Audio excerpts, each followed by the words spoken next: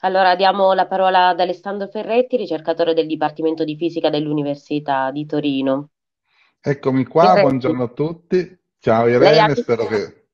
Dimmi. sul Fatto, sul Fatto Quotidiano hai avuto un sacco di scontri, no, per la tua ricerca, anche se è stata lodata da diversi fisici. Ehm, per- come mai non si ripropone quello che hai fatto in Piemonte anche a livello nazionale? Spiegaci un Bella po' il domanda.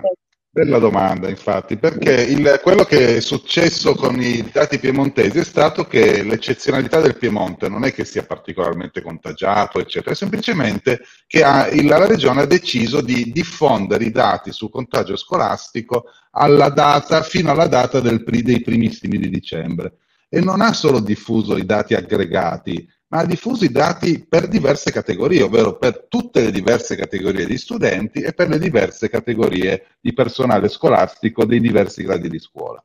Allora, quello che è importante capire è che già solo dei dati di questo tipo, quindi anche senza andare a capire dove ci si è contagiati o come ci si è contagiati, ma semplicemente andando a vedere quanti si sono contagiati nelle diverse categorie, ci dà la possibilità di capire molte cose su quello che è successo nel contagio scolastico, perché in effetti corre, facendo dei confronti, ad esempio, tra personale di, di gradi diversi di scuola e studenti di gradi diversi di scuola, si vedono delle notevoli differenze che possono essere poi associate alle varie misure restrittive che sono state messe in campo durante le settimane. Allora, eh, quello che succede, quindi io in verità ho fatto un'analisi estremamente semplice, non è un'analisi che possono fare anche tranquillamente i miei studenti, ovvero ho semplicemente disegnato la curva dei contagi che vedete sempre nel caso di, de, dei giornali o di vari blog, l'ho disegnata per il personale scolastico, semplicemente perché c'erano i dati. E questa, adesso io proverei quasi a, a condividere lo schermo, casomai se non funziona poi boh, ci, ci proviamo. Adesso provo un attimino a condividere lo schermo, a vedere se ci riesco per, farvi, per mostrarvi come effettivamente la, questa situazione si, e, e, si, vede molto facilmente, diciamo, ovvero si vede come eh, si capiscono bene gli andamenti dei dati. Eccomi qua, allora mi metto qua sopra e così vi faccio vedere, eccolo qua. Questo, se lo vedete, è il grafico che mostra i contagi della popolazione scolastica, la vedete qua sotto, della popolazione generale, lo vedete qua in verde, e invece vedete in eh, blu i dati del personale delle scuole dell'infanzia, le materne, in, ehm, in, grigio vedete il personale delle scuole medie, in rosso il personale delle scuole primarie e infine in giallo il personale scolastico delle scuole superiori. Allora, eh, vedete che ho messo alla, in, su delle linee verticali le date dei vari provvedimenti che sono stati adottati in Piemonte, che come sapete è andato in zona rossa agli inizi di novembre ed è andato in didattica alle superiori a distanza del 50%, appunto proprio anche, anche la settimana precedente. Allora, cosa vediamo? Vediamo che fino al 12-18 ottobre, ovvero circa un, fino a un mese dopo la, la partenza delle scuole, i contagi sono rimasti eh, sostanzialmente simili per tutte quante le categorie, ovvero sia la popolazione generale che la popolazione invece scolastica, del personale scolastico. Ma vedete che quando il contagio ha cominciato a aumentare, si sono eh, differenziati notevolmente.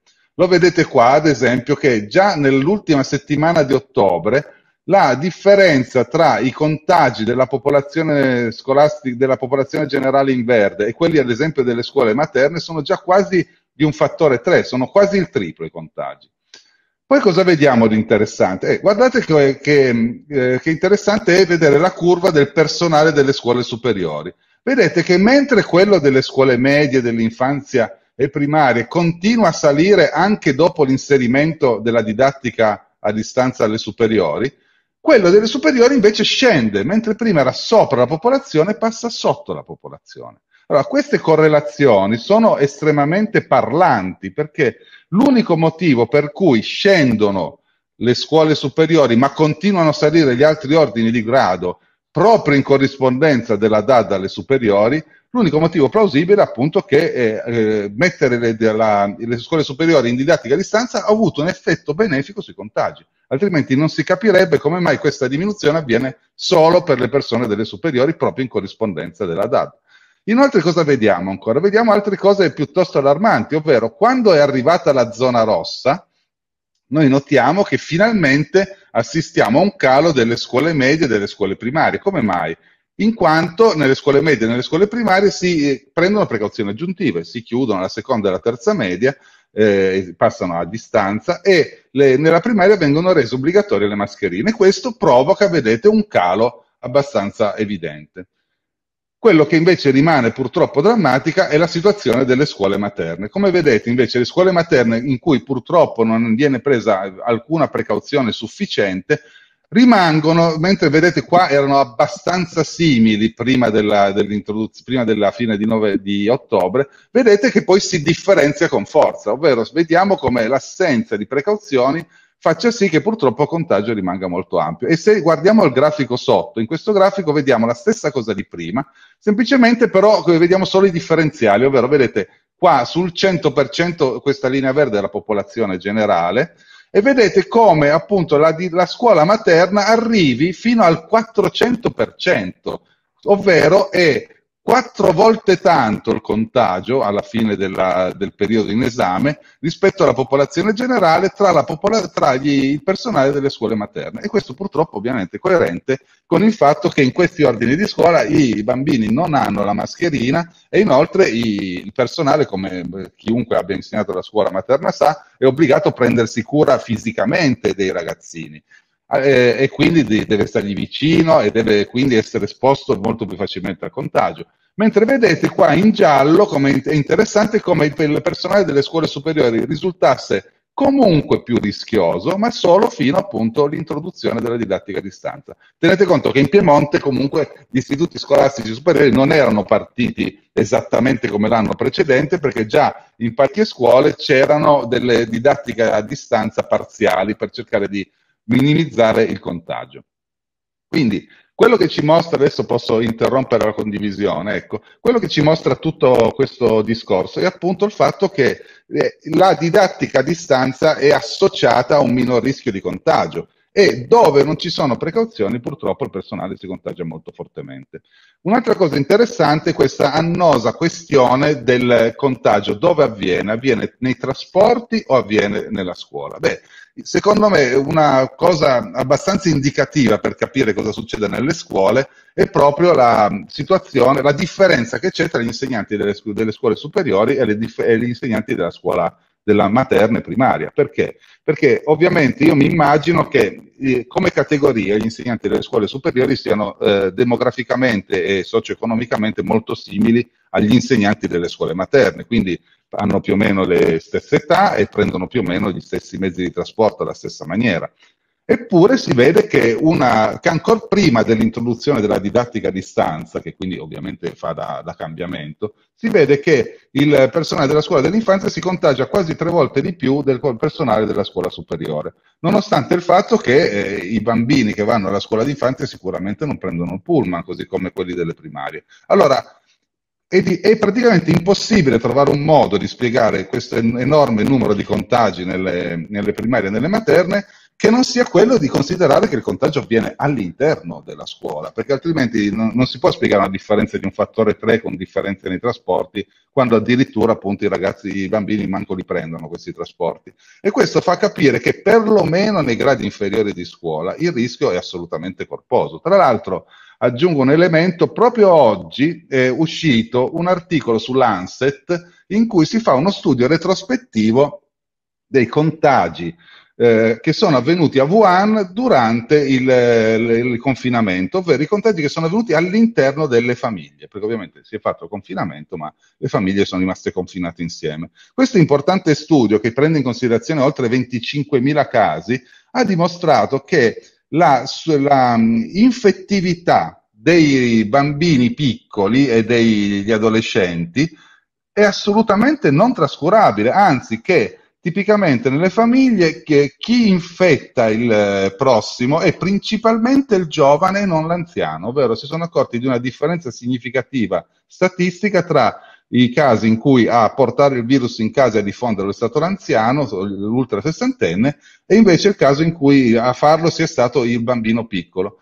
Questo che cosa vuol dire? Vuol dire che molta della letteratura che si è letta e che viene anche spesso travisata da, da scienziati che hanno diciamo, un'agenda politica ben chiara, si basava su una, una, una difficoltà, che è quella che ha già citato Davide Tosi, ovvero che i, più si è giovani e più, si è, e più è difficile vedere i sintomi del virus, ovvero i bambini molto piccoli spesso sono ammalati ma non manifestano eh, sintomi. Questo cosa significa? Che il, eh, è difficile individuarli, ma che contagiano ugualmente, come dimostra anche questo ulteriore studio, e che quindi è molto facile illudersi che i bambini non contagino semplicemente perché non ci siamo accorti che erano positivi.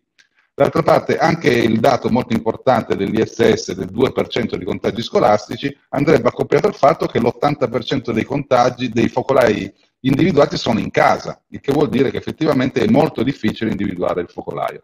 Ultimissima cosa che vi dico, eh, che è una cosa che secondo me è la cosa più importante di tutti, è la carenza di dati.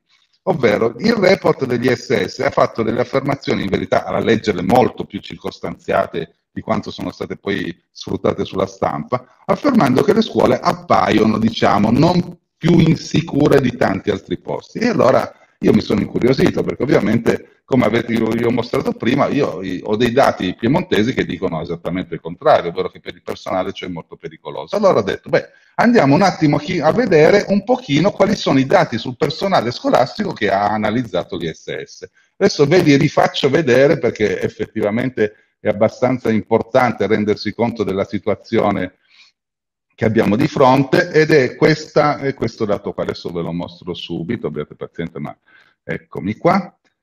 Allora, il dato che vediamo è questo, allora, non so se vedete questi grafici, questo è il rapporto degli SS, ci sono dei grafici in verde che rappresentano, come leggete qua sotto, numero dei casi tra il personale scolastico per regione e trend regionale. Beh, allora i dati ci sono, mi sono detto andiamoli a vedere, e sono andati a vederli e guardate un po' cosa scopro. Vedete questo riquadro qui? È la Valle d'Aosta, ve lo ingrandisco ancora un pochino. In Valle d'Aosta risultano eh, contagiati, vedete, nel tempo una media di 5-10 persone de- appartenenti al personale scolastico. La Valle d'Aosta ha 125.000 abitanti. Adesso andiamo a vedere a fianco, proprio a fianco c'è il Veneto. Il Veneto ha più di 4 milioni di abitanti e come vedete qua il numero di personale contagiato è meno della metà del personale della Val d'Aosta, nonostante una popolazione 30 volte superiore. Ma dite che sia un caso isolato? Beh, andiamo a vedere la Lombardia. Ecco qua il dato della Lombardia, lo vedete qui? Dati di personale scolastico che si contagiano 2-4 persone al giorno, cioè meno della Val d'Aosta. Il Molise addirittura non, non è presente. Mentre invece vedete qua al Piemonte si vedono dei dati estremamente più importanti, si arriva fino a 150 contagi nel picco al giorno per, nel Piemonte. Cosa significa tutto questo? Significa che l'ISS non ha raccolto i dati, non ha i dati del personale scolastico. Quindi quando afferma che le scuole sono relativamente sicure, lo fa alla cieca, non lo sa.